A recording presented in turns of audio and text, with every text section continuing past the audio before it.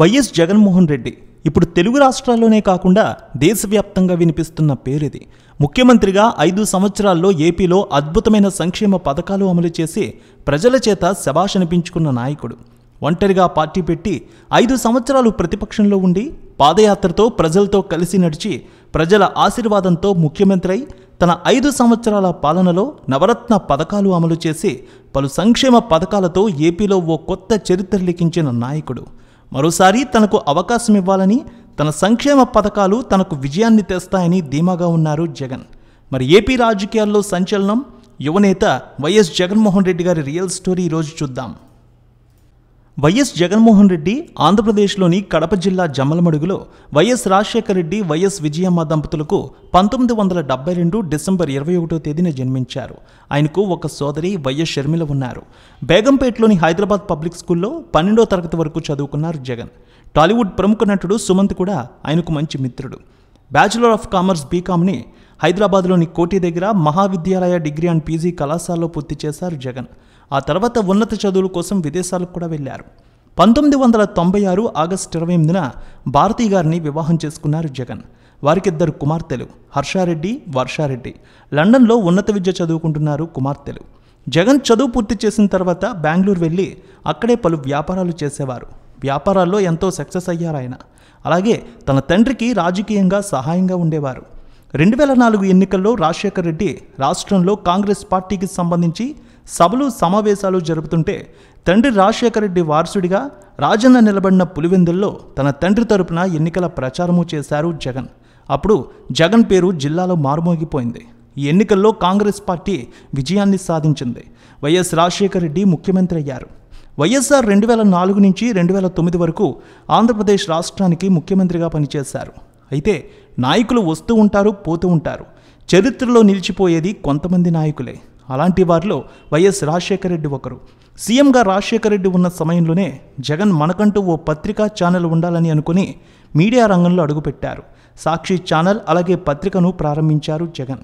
ఈ ఐదు సంవత్సరాల కాలంలో జగన్ పేరుతో కడప జిల్లాలో జగన్ యువసేన అంటూ పలు యువ సంఘాలు కూడా పుట్టుకొచ్చాయి. తన తండ్రి వైఎస్ఆర్ ఆశీస్సులతో జగన్మోహన్ రెడ్డి రెండు వేల తొమ్మిది ఎన్నికల్లో ప్రత్యక్ష రాజకీయాల్లోకి వచ్చారు. కడప పార్లమెంట్ స్థానం నుంచి ఎంపీగా పోటీ చేసి ఘన విజయాన్ని సాధించారు జగన్మోహన్ రెడ్డి. రెండు వేల తొమ్మిది ఎన్నికల్లో కాంగ్రెస్ పార్టీ మరోసారి ఘన విజయాన్ని సాధించింది. ముఖ్యమంత్రిగా రెండోసారి వైఎస్ఆర్ ప్రమాణ స్వీకారం చేశారు. కానీ కొద్ది నెలలకే దురదృష్టవశాత్తు ఆయన హెలికాప్టర్ ప్రమాదంలో మరణించారు. ఆయన అకాల మరణంతో కాంగ్రెస్ పార్టీ నాయకులు జగన్ను ఎదగనీయకుండా అడ్డుకున్నారు. వైఎస్ మరణం తర్వాత జగన్ని ముఖ్యమంత్రిని చేయాలని కోరుతూ కొందరు ఎమ్మెల్యేలు సంతకాలు చేసి ఆ లేఖను పార్టీ అధిష్టానానికి పంపించారు. కానీ కాంగ్రెస్ హైకమాండ్ మాత్రం జగన్ను సీఎం చేయడానికి అంగీకరించలేదు. వైఎస్ఆర్ స్థానంలో రోసయ్యను ముఖ్యమంత్రిగా నియమించింది. జగన్ ఈ సమయంలో ఓ కీలక నిర్ణయం తీసుకున్నారు. తన తండ్రి మరణవార్త విని ఆయన అభిమానులు కార్యకర్తలు చాలామంది మరణించారు. ఇలా మరణించిన కుటుంబాలకు అండగా ఉంటూ జగన్ ఓదార్పు యాత్ర చేపట్టారు. దీనికి కాంగ్రెస్ సర్కార్ అనుమతి ఇవ్వలేదన్నాడు. అంతేకాదు ఏకంగా సోనియా గాంధీ రంగంలోకి దిగి జగన్ను ఈ నిర్ణయాన్ని వెనక్కి తీసుకోమన్నారు. కానీ జగన్ మొండిగా సోనియా మాటని లెక్క చేయలేదు. చివరి ప్రయత్నంగా సోనియాని ఒప్పించాలని అనుకున్నారు. జగన్మోహన్ రెడ్డి తన తల్లి విజయమ్మను తీసుకుని ఢిల్లీ వెళ్ళి సోనియాను కలిశారు. సోనియా గాంధీ ఈ సమయంలో మాట్లాడుతూ వాదార్పు యాత్ర చేయవద్దని వారందరినీ ఒక చోటకు రమ్మని పరామర్శించమని సలహా ఇచ్చారు. దీంతో జగన్ ఆయన తల్లి విజయమ్మ భారతీయ సాంప్రదాయం ప్రకారం చనిపోయిన వ్యక్తి ఇంటికి వెళ్ళి పరామర్శించడం గౌరవం. అంతేగాని వాళ్ళని మన దగ్గరికి రమ్మని పరామర్శించడం మంచిది కాదని తెలిపారట. చివరకు సోనియా గాంధీ మాట లెక్క చేయకుండా జగన్ ఓదార్పు యాత్ర చేపట్టారు. ఆయనకు ఎక్కడికి వెళ్ళినా రాష్ట్రంలో ప్రజలు బ్రహ్మరథం పట్టారు. కాంగ్రెస్లో ఉండడం నచ్చక జగన్ ఈ సమయంలో కీలక నిర్ణయం తీసుకున్నారు. నవంబర్ ఇరవై తొమ్మిది రెండు వేల పదిన తన ఎంపీ పదవికి పార్టీ ప్రాథమిక సభ్యత్వానికి రాజీనామా చేశారు జగన్మోహన్ రెడ్డి. అంతేకాదు ఒక కొత్త ప్రాంతీయ పార్టీ పెట్టాలని నిర్ణయం తీసుకున్నారు.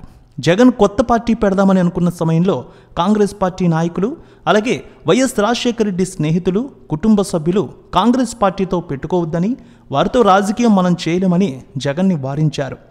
కానీ జగన్ వారి మాటలు లెక్క చేయలేదు. తను కొత్తగా పార్టీ పెడతానని డిసెంబర్ ఏడున ప్రకటించారు. అనుకున్న విధంగానే రెండు వేల పదకొండు మార్చి పదకొండున జగన్ కొత్త పార్టీ వైఎస్ఆర్ కాంగ్రెస్ పార్టీ పురుడు పోసుకుంది. చాలామంది కాంగ్రెస్ పార్టీ నాయకులు సీనియర్లు ఆనాడు వైఎస్ఆర్ వెనుక ఉన్న నాయకులు వైఎస్ఆర్ కాంగ్రెస్ పార్టీలో చేరారు. జగన్మోహన్ రెడ్డికి మద్దతుగా నిలిచారు. తర్వాత జగన్మోహన్ రెడ్డి కడప స్థానం నుంచి ఎంపీగా పోటీ చేశారు.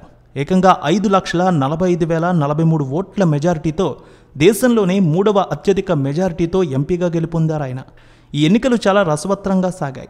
కాంగ్రెస్ తరపున వైఎస్ఆర్ స్నేహితుడు డిఎల్ రవీంద్రారెడ్డి పోటీ చేస్తే టీడీపీ తరపున సీనియర్ నాయకుడు మైసూరారెడ్డి నిలబడ్డారు.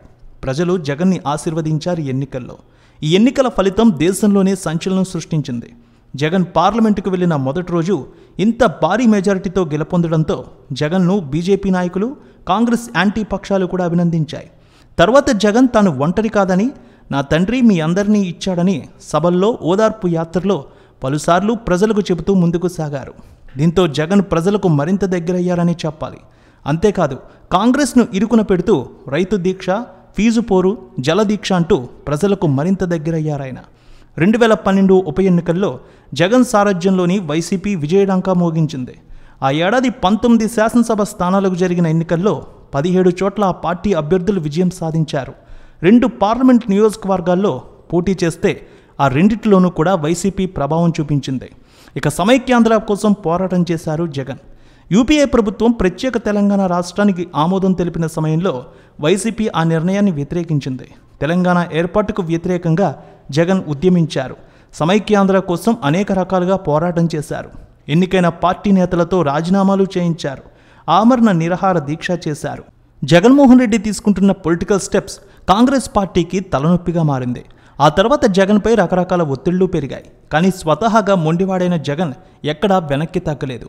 దీంతో ఆయనపై అక్రమాస్తుల కేసులు నమోదయ్యాయి. సిబిఐఈడి విచారణ సాగింది. లక్ష కోట్ల రూపాయల అక్రమాస్తులంటూ కొన్ని మీడియాల్లో వార్తలు ప్రచారం చేశారు. ఆస్తుల అటాచ్మెంట్ పదహారు నెలల జైలు జీవితం ఎన్నిసార్లు దరఖాస్తు చేసుకున్నా బెయిల్ లభ్యం కాలేదు. మరొకరైతే ఇలాంటి పరిస్థితుల్లో ఒత్తిడికి తొలగేవారే కానీ జగన్ మాత్రం ధైర్యంగా ఎదుర్కొన్నారు. కష్ట సమయంలో ఆయనకు తల్లి విజయమ్మ భార్య భారతి సోదరి షర్మిల అండగా నిలిచారు. ఈ సమయంలో సోదరి షర్మిల పార్టీని ముందుకు నడిపించారు.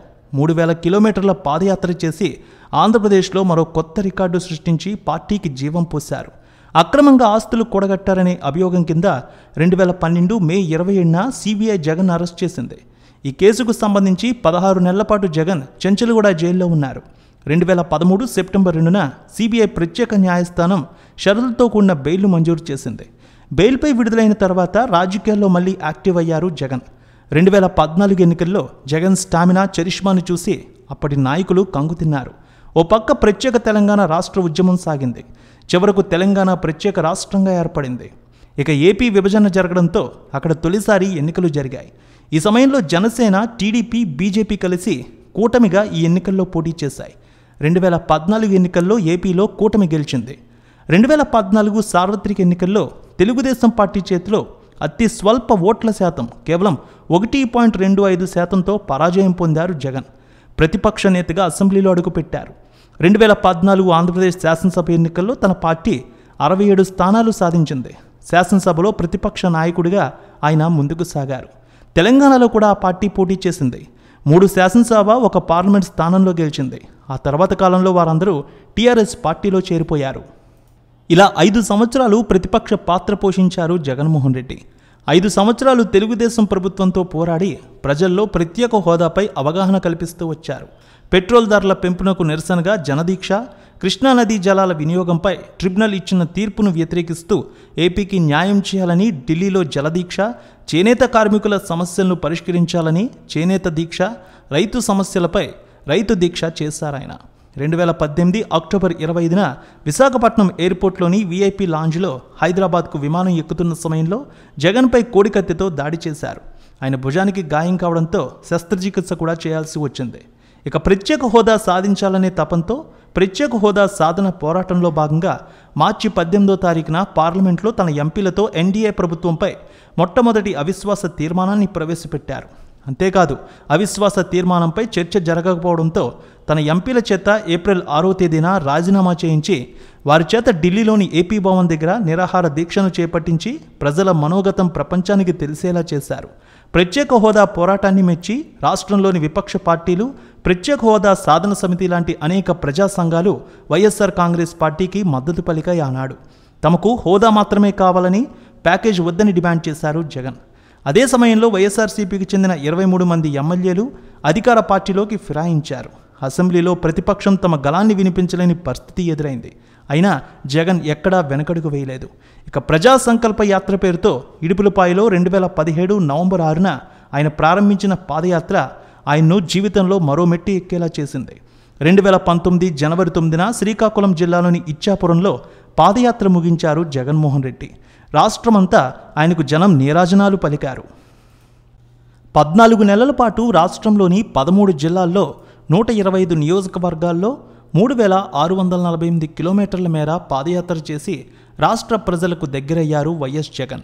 రెండు వేల పంతొమ్మిది ఆంధ్రప్రదేశ్ శాసనసభ ఎన్నికల్లో నూట డెబ్బై ఐదు శాసనసభ స్థానాలకు గాను వైఎస్ఆర్ కాంగ్రెస్ పార్టీ నూట యాభై ఒక్క స్థానాలు రికార్డు స్థాయిలో గెలిచింది.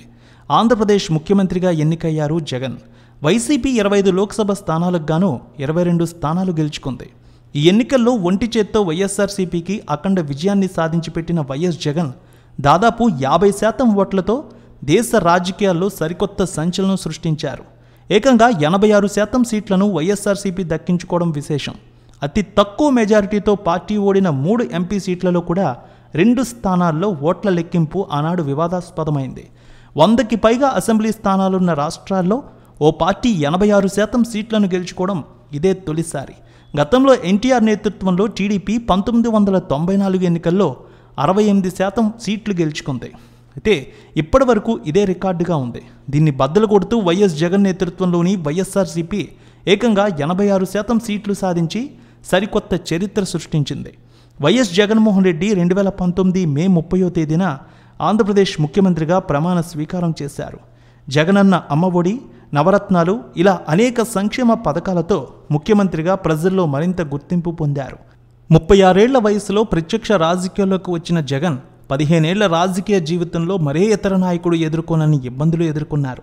తండ్రి అకాల మరణం అక్రమాస్తుల కేసులో జైలుకు వెళ్ళడం తొలి ఎన్నికల్లో ఓటమి ఇలా ప్రతికూల పరిస్థితుల్లోనూ మొండి పట్టుదలతో లక్ష్య దిశగానే సాగారాయన.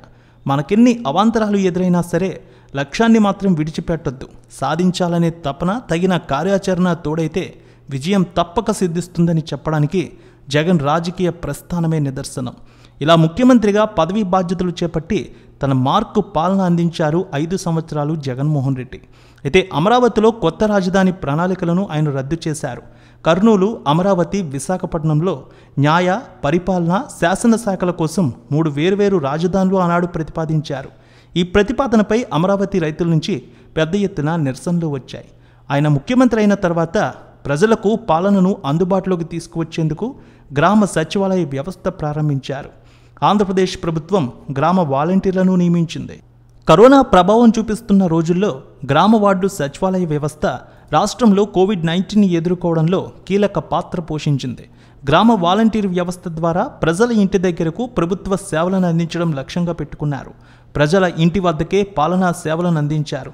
ప్రతి గ్రామంలో గ్రామ సచివాలయాలు ఏర్పాటు చేశారు. ప్రభుత్వం రాష్ట్ర ప్రజల మధ్య వాలంటీర్లను వారధిగా చేశారు. గ్రామ సచివాలయాలు రెండు వేల పంతొమ్మిది అక్టోబర్ రెండు నుంచి ప్రారంభించారు. ఈ పథకంలో ఒక వాలంటీర్ ప్రతి గ్రామంలో యాభై కుటుంబాలను సంక్షేమ పథకాలను ఇళ్ళకు చేరవేసే బాధ్యతను అప్పగించారు. ఇక నవరత్నాలు. ఆంధ్రప్రదేశ్ ముఖ్యమంత్రి వైఎస్ జగన్మోహన్ రెడ్డి రెండు వేల పద్నాలుగు ఎన్నికల సమయంలో ప్రజలకు నవరత్నాలుగా పిలువబడే తొమ్మిది పథకాలను అధికారంలోకి వచ్చిన తర్వాత అమలు చేస్తామని హామీ ఇచ్చారు. అలాగే అమలు చేశారు.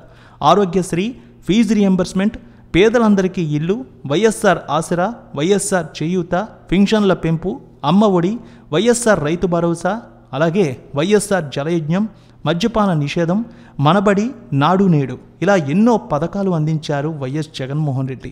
నేరుగా లబ్ధిదారుల ఖాతాల్లోనే ఈ నగదు జమ చేయడం ద్వారా ఎక్కడ అవినీతి పేదలకు పథకాలు అందకపోవడం అనే సమస్య లేకుండా ఈ పథకాలు అద్భుతంగా అమలయ్యాయి.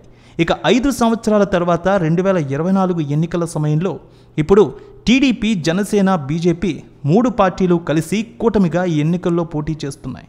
వైసీపీ మాత్రం ఒంటరిగానే పోటీ చేస్తోంది. ఇక జగన్మోహన్ రెడ్డి కూడా నామినేషన్ దాఖలు చేశారు. ఆయన ప్రకటించిన ఆస్తులు చూస్తే సీఎం జగన్ కుటుంబానికి మొత్తం ఏడు వందల డెబ్బై తొమ్మిది కోట్ల రూపాయల ఆస్తులు ఉన్నాయి. వివిధ కంపెనీల షేర్లతో సహా అన్ని రకాల చరాస్తులు పరిగణలోకి తీసుకుంటే ఆరు వందల యాభై కోట్లుగా పేర్కొన్నారు. ఇందులో సీఎం జగన్మోహన్ రెడ్డి పేరిట నాలుగు వందల ఎనభై మూడు కోట్లు భార్య భారతిరెడ్డి పేరిట నూట పంతొమ్మిది కోట్లు కుమార్తె హర్షారెడ్డి పేరిట ఇరవై నాలుగు కోట్లు వర్షారెడ్డి పేరిట ఇరవై మూడు కోట్ల రూపాయల చరాస్తులు ఉన్నాయి. మొత్తానికి తన కంచుకోట అయిన పులివెందుల నుంచి వైఎస్ జగన్ మరోసారి ఎమ్మెల్యేగా పోటీ చేస్తున్నారు. టీడీపీ తరపున బీటెక్ రవి పోటీ చేస్తున్నారు. మరి పథకాలు జగన్ చేసిన పాలన ఈ ఐదు సంవత్సరాలు చూశారు. మరి మీ అభిప్రాయం ప్రకారం వచ్చే ఎన్నికల్లో పులివెందుల్లో గెలుపు ఎవరిదని మీరు భావిస్తున్నారు? అలాగే రాష్ట్రంలో ముఖ్యమంత్రి అయ్యేది ఎవరని అనుకుంటున్నారో తప్పక మీ అభిప్రాయాన్ని కామెంట్ రూపంలో తెలియచేయండి.